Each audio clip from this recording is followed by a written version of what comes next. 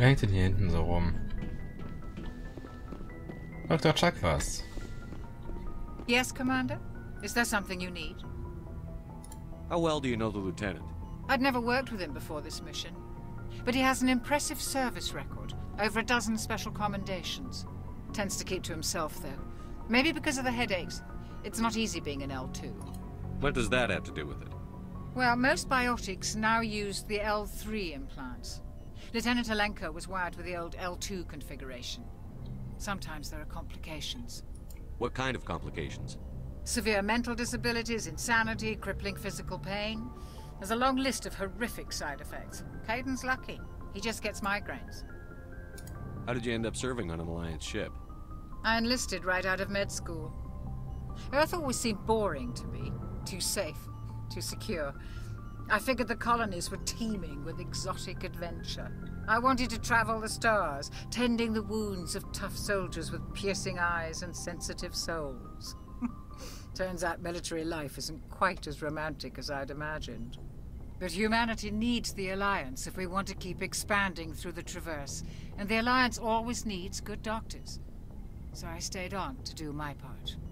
Ever think you made the wrong choice? Sometimes I think about opening a private practice back on Earth. Or maybe taking a position at one of the new med centers out in the colonies. But there's something special about working on soldiers. If I left the Alliance now, I'd feel like I was abandoning them. I should go. Goodbye, Commander.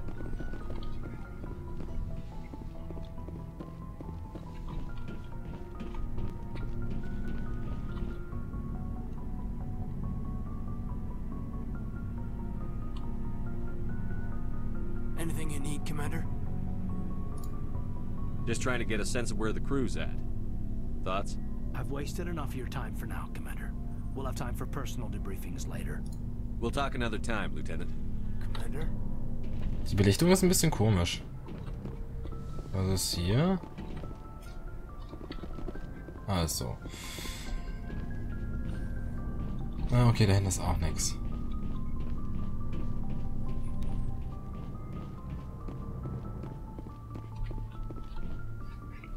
Ich muss auch sagen, die menschlichen Squad-Mitglieder, bis auf einige Ausnahmen, sind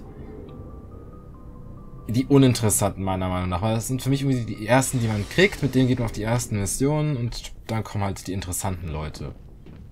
Zum Beispiel er hier. Thanks for bringing me on board, Commander. I knew working with the Spectre would be better than life at CSEC. Have you worked with a Spectre before? Well, no, but I know what they're like. Spectres make their own. You're free to handle things your way. At C-Sec, you're buried by rules. The damn bureaucrats are always on your back. Being a Spectre does have its advantages. Exactly my point. If I'm trying to take down a suspect, it shouldn't matter how I do it, as long as I do it. But C-Sec wants it done their way. Protocol and procedure come first. That's why I left. Frau Shepard tut schon so, als wüsste er viel darüber, ein Spectre zu sein, obwohl er fünf Minuten ein Spectre ist. So you just quit because you didn't like the way they do things? There's more to it than that. It didn't start out bad, but as I rose in ranks, I got saddled with more and more red tape. C-Sec's handling of Saren was typical. I just couldn't take it anymore. I hate leaving. I hope you made the right choice. I'd hate for you to regret it later. Well, that's sort of why I teamed up with you. It's a chance for me to get off the Citadel, see how things are done outside C-Sec. Either way, I plan to make the most of this. And without C-Sec headquarters looking over my shoulder, well, maybe I can get the job done my way for a change. If getting the job done means endangering innocent people, then no. We get the job done right, not fast. Got it? I wasn't trying to... I understand, Commander.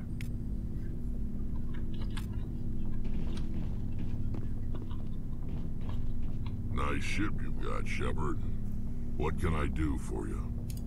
What's your story, Wrex? There's no story.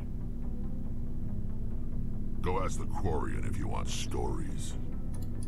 You Krogan live for centuries. Don't tell me you haven't had a few interesting adventures. Well, there was this one time the Turians almost wiped out our entire race. That was fun. I heard about that. You know, they almost did the same to us. It's not the same. It seems pretty much the same to me. So your people were infected with a genetic mutation? An infection that makes only a few in a thousand children survive birth? And I suppose it's destroying your entire species? I suppose it isn't all the same. I don't expect you to understand, but don't compare humanity's fate with the Krogan. Sorry, Wrex. I wasn't trying to get you upset.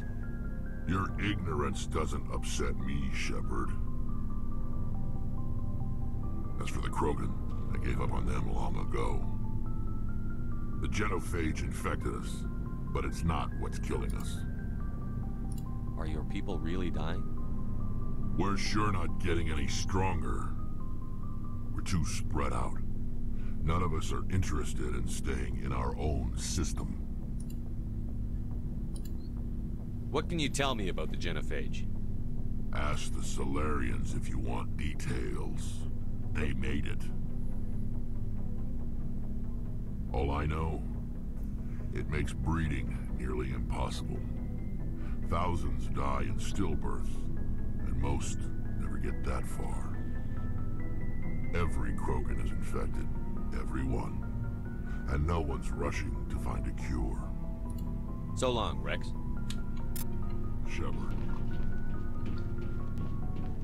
Also sie werden uns im Verlauf der Geschichte auch mehr über sich erzählen und das wird sich auch noch auswirken.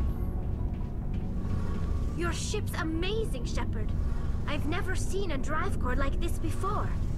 I can't believe you were able to fit it into a ship this small. I'm starting to understand why you humans have been so successful. I had no idea Alliance vessels were so advanced. The Normandy's a prototype. Cutting-edge technology. A month ago, I was patching a makeshift fuel line into a converted tug ship in the flotilla. Now, I'm sitting on board one of the most advanced vessels in Citadel space. I have to thank you again for bringing me along. Traveling on a vessel like this is a dream come true for me. I had no idea you found ship technology so interesting. It comes with being a Quarian. The migrant fleet is the key to the survival of my people. Ships are our most valuable resource. But we don't have anything like this. We make do with cast-offs and second-hand equipment. We just try to keep them running for as long as we can. Some of the fleet's larger vessels date all the way back to our original flight from the Geth. I can't believe your fleet's still using ships that are three centuries old. They're constantly being repaired, modified, and refitted. They aren't pretty, but they work. Mostly. We've tried to make ourselves as independent as possible on the flotilla. Grow our own food, mine and process our own fuel. But some things we just can't make on our own. A patch to maintain the hull integrity requires raw materials we just don't have.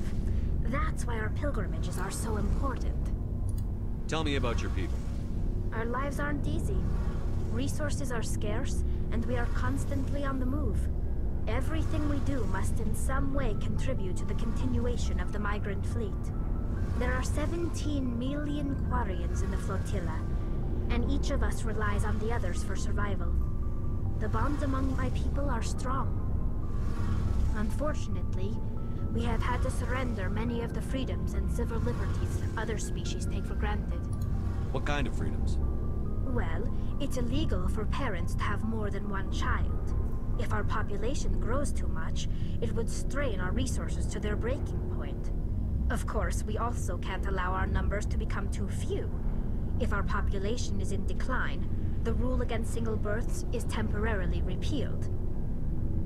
In extreme cases of population decline, incentives are even offered to encourage multiple births, though the Conclave hasn't had to take such measures in nearly a century. That's your government. The Conclave is our civilian branch of government. Each ship can elect a representative to serve on the Conclave and make decisions that affect the fleet as a whole. On matters that affect an individual ship, however, the captain has the final say. It's a tradition that dates back to the early days, when the fleet was governed by martial law. Fortunately, most captains nowadays are smart enough to have an elected council from their crew to give them advice and guidance. So the ultimate power rests with elected officials. In practice, the Conclave and the respective council for each ship tend to set the rules that govern our daily lives. but in theory we are still under military jurisdiction. The five top-ranking military officials in the fleet serve on the Admiralty Board. These five have the power to overrule any decision by the Conclave in case of emergency. To do so requires unanimous agreement among the Admiralty, and they can only do this once. After that, the entire board must resign their posts. It's a safeguard that served us well. In nearly three centuries, the Admiralty Board has only overruled the Conclave four times. I want to know more about the Geth. I doubt I can tell you anything you don't already know. It's been almost three centuries since they drove my people into exile. All I know is the story of their origins. What they were when we created them, and how they turned on us. Interesting. The Geth were originally created to serve as an automated manual labor force. Initially, their intelligence was as limited as any VI. Over time, we made small modifications to their programming to allow them to perform more varied and complex tasks, bringing them closer and closer to true AI status. How come the Council didn't step in and stop you? This wasn't true AI research. We may have been skirting the bounds of the law, but we never did anything that was actually illegal. The changes were so insignificant, so gradual, that we were able to control them. Or so we thought. But one thing we underestimated was the power of the neural network. A million Geth thinking simultaneously created an inherently unstable matrix. So, the Geth share brain power? Many of the Geth's logic systems were designed to work in concert with other nearby Geth. Basically, the more of them you have in a group, the smarter they are. So there's some sort of group consciousness. No, nothing like that. They cannot share sensory data or information. Their programming cannot handle that much simultaneous input. Each Geth maintains an individual awareness and identity. The neural network only operates on a process-based level. It's basically the synthetic equivalent of a subconscious. But when they're in close proximity, they can coordinate low-level functional processes, freeing up more capacity for original or independent thought. That doesn't make any sense. I'm probably oversimplifying. The Geth are incredibly advanced and complex creations. All you need to know is that they get smarter when they gather in large numbers. As we built more and more Geth, their effective intelligence became more sophisticated, more abstract. One day, a Geth began to ask its Quarian overseer questions about the nature of its existence. Am I alive? Why am I here? What is my purpose? As you can imagine, this caused a near panic among my people. I don't see what's so bad about those questions. The Geth were created to engage in mundane, repetitive, or dangerous manual labor. That's fine for machines, but it won't satisfy a sentient being for long. The Geth were showing signs of rudimentary self-awareness and independent thought. If the Geth were intelligent, then we were essentially using them as slaves. It was inevitable the newly sentient Geth would rebel against their situation. We knew they would rise up against us, so we acted first. A general order went out across all Quarian-controlled systems to permanently deactivate all Geth. The Geth responded to this order violently. You can't blame them for fighting for their survival. We had no other choice. The Geth were already on the verge of revolution. By acting quickly, we had a chance to end the war before it began. The hope was that most of the Geth would still be little more than machines, incapable of organized resistance. But they had progressed much further than anyone anticipated. The war was long and bloody. Millions upon millions of Quarians died at their hands. In the end, we were forced to flee our own homeworld. We feared the Geth would pursue us, but they never came beyond the Veil. Now we drift through space, exile searching for a way to reclaim what was once ours. I want to know more about the pilgrimage. When my people reach maturity, we leave our birth ships and seek acceptance with a new crew. It's necessary to maintain genetic diversity among the fleet. But no ship wants to accept someone who will be a burden on them, So, to prove our worth, we embark on a pilgrimage. We set out alone, leaving the flotilla and our families behind us. We only return once we have found something of value we can bring back to the fleet. This is presented as a gift to the captain of the respective ship we wish to join. If the gift is accepted, we are welcomed into the crew. Can a captain choose to reject the gift? Uh, That doesn't happen often. Most captains are eager to increase the size of their crew. It increases their own standing in our society. Even when a gift is not particularly valuable, the captain usually accepts it out of a sense of tradition. However, there is a stigma to presenting a substandard gift. It's not the best way to make a good impression on a new community. Most pilgrims don't return until they find something worthwhile. I can't believe they just send you off alone. It's not like they just cast us out. Before we leave, we are given lessons in how to survive outside the flotilla, and given gifts to help us on our journey. We also receive implants to fight off sickness and disease. Generations of living in an isolated and highly controlled environment have left our immune systems weaker than most. By the time we leave the fleet, we are well equipped for the pilgrimage. This is a rite of passage for all Quarians. If it were dangerous, our numbers would suffer. Virtually every pilgrimage ends with a triumphant return and the ritual presentation of the gift to one of the fleet's captains. I want to talk about something else. Like what? I should go. See you later. So, bevor das noch viel länger dauert. Hey, Shepard. nein. See you later. Oh. Oh, doch mit ihm können wir noch reden. Das dauert, denke ich mal, nicht lange. Hey, Commander, you know that Quarian, Tali? She's been spending all her time down here asking me about our engines. I'll tell her to leave you alone. What? No, she's amazing. I wish my guys were half as smart as she is. Give her a month on board and she'll know more about our engines than I do. She's got a real knack for technology, that one. I can see why you wanted her to come along. I figured she'd be a real asset to the team. You've got an eye for talent, Commander, but I'm guessing that's not why you came down here. Fill me in on the IES stealth systems. How does it work exactly? You can't hide a ship out in space. They emit too much heat and radiation, too easy for sensors to pick them up, unless you find a way to capture those emissions. So our stealth systems trap the energy we give off in storage sinks built into the ship itself. No emissions to give away our location. Eventually the sinks have to be vented. More than a few hours silent running and they overheat. Cook us inside our own hull. There's no way for anyone to detect us? A visual scan can still pick us up. Anyone looking out a window can see us plain as day. But you have to be pretty close to get an actual visual out in space. Most vessels rely on scanners. As long as the stealth systems are engaged, they can't see us. Not unless we accelerate to FTL speeds. Why doesn't it work with faster than light travel? Cranking up to FTL blue shifts our emissions, pushes them into frequencies too high to capture in the sinks. As soon as we make the jump, it's like setting off a flare. Sensors can pick up our location whenever we enter or exit FTL flight, but for short-range missions, our stealth systems are amazing, we've got the only one. Where else have you served, Adams? If you name a class of Alliance ship, I've probably served on it. Everything from dreadnoughts and carriers right down to frigates like the Normandy. My last assignment was on the Tokyo, only a cruiser, but she was a good ship. Couldn't hold a candle to the Normandy, though.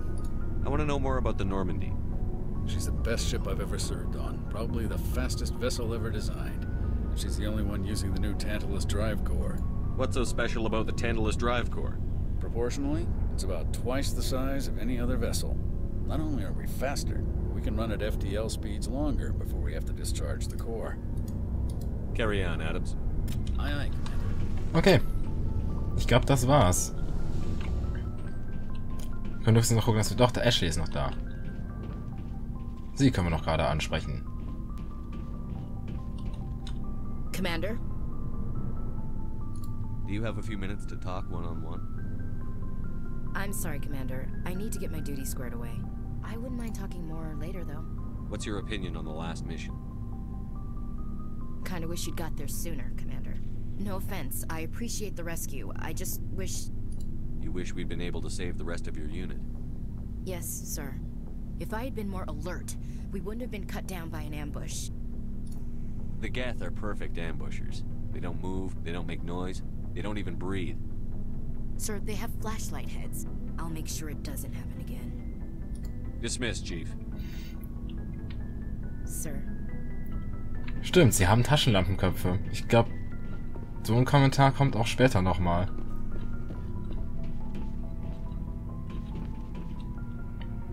Ich muss nur aufpassen, dass ich nicht mit ihr noch eine Romanze anfange.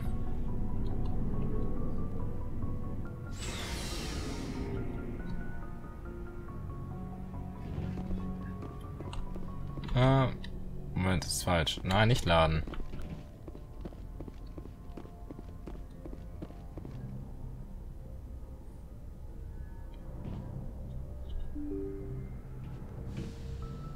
So, und bei der nächsten Aufnahme, also wenn es wieder heißt Let's Play Mass Effect, geht's auch dann los mit der eigentlichen Story. Jetzt war eigentlich nur alles aufbauen.